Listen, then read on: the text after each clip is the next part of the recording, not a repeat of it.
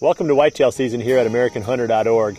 I'm really excited this week to be able to bring you the news that we found the third of our four bucks on the hit list. Actually, I wasn't the one that found this deer. I didn't film him. The family and I went on a uh, houseboat vacation up into northern Minnesota. So I was gone for the better part of a week. It's always been a dream of mine. You know, I've read it in hunting magazines and fishing magazines for years about these houseboat trips and pulling the fishing boat along behind and, you know, using the houseboat as a base camp.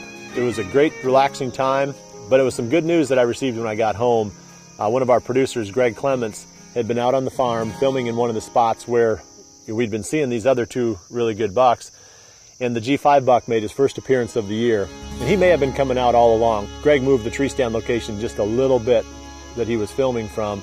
And that was just enough to see into a different part of that field. And the buck came out early. Uh, he's definitely put on more inches. He's bigger than he was in 2010. Uh, this is a deer that I'm really excited to hunt because last year he was so visible. And in the whitetail world, if they do that, they usually don't last too long. So I don't believe it's really a, a situation where the deer gets so much smarter. I think they have certain personalities, and some bucks move a lot. I mean, he was everywhere as a three-year-old. And then last year we figured he was four, and again, he was all over the place. I think I almost got him four different times. One of them was during the late season last year. Based on what I know, which isn't that much, we're going to go up this valley to one of the spots we hunted quite a bit in November. And hopefully there's a little bit of standing corn there. Hopefully there's some corn left in that.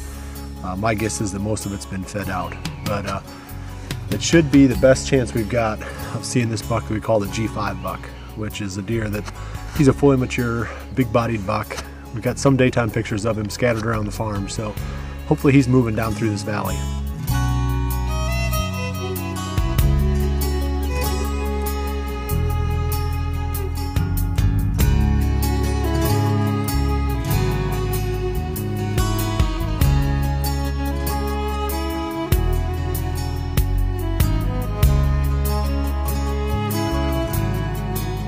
He was coming straight toward the tree stand, and I had to reposition my body.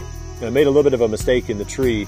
Rather than just swinging my head underneath the harness strap, I turned you know 270 degrees or so in the tree stand and tried to go the back way around to get ready for the deer on the other side of the tree. In so doing, uh, with the cold temperatures and, and such, I mean the noise just gets so amplified. The deer heard my feet scraping on the on the stand platform and he locked up at 40 yards and it was a painful moment.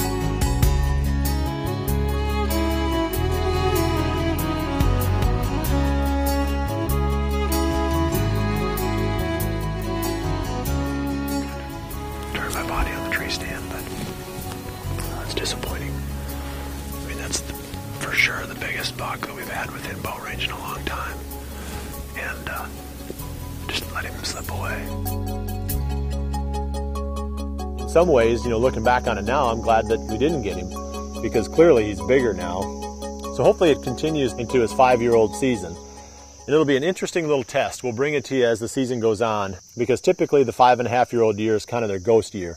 They're somewhat visible as three and four year old deer, then they just fall off the face of the earth when they're five. And we're hoping, you know, in the case of these other two deer on the hit list, you know, the double G4 buck and the buck that we're calling big, that trend starts to reverse itself when they reach six years old because those two bucks are six. From what we can tell, the G5 buck we really believe is, is a five year old. So in coming episodes, we'll talk more about where we're going to try to get this deer. Another one of the sub themes of this season is going to be using trail cameras to figure out which bucks are killable. And we're going to start it right now with this G5 buck. He was a deer that was showing up a lot on the trail cameras last season during the day. And that sort of gave us a little uh, preview of his behavior uh, the fact that he was this daytime roamer, we sort of knew that going into it because we had a lot of trail camera pictures in October of this buck during the daylight. So that's something we're going to be kind of monitoring this year too. We'll bring you along as we sort of really try to unravel which bucks on the farm, especially of these four that we're after, which ones are more killable, you know, using the trail cameras to help us figure that out. So that's it for this week. Uh, come back again next week and we'll start hatching the plan of how we're gonna, or how I'm gonna try to kill this G5 buck. I appreciate you joining me here on Whitetail Season. See you back here again next week at AmericanHunter.org.